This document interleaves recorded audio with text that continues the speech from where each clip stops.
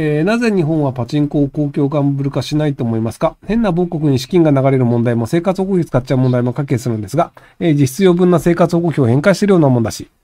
えっと、競馬とかだと農林水産省の所管だったりとか、で、宝くじだと財務省の所管だったりとか、割とそのギャンブルって、あの、その所管の省庁があるんですけど、で、パチンコの場合って、警察庁の利権なんですよ。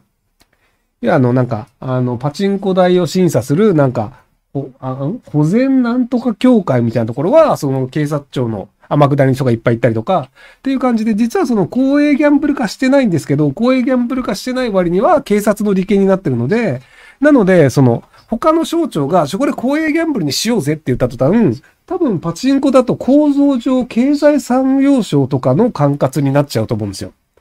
その、で、警察としては、その、せっかくボロ儲けして儲かるパチンコを経済産業省には渡したくないと。